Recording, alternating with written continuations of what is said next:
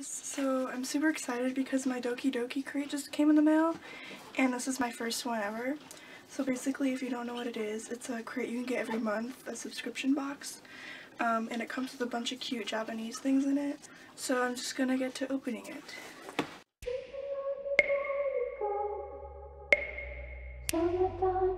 it.